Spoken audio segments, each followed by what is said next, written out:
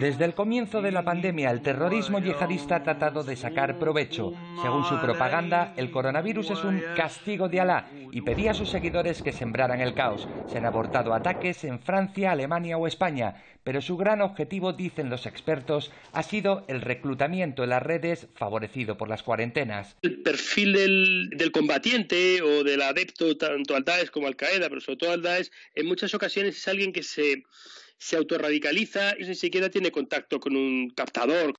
Han eh, utilizado esta crisis sanitaria eh, más como un instrumento eh, propagandístico.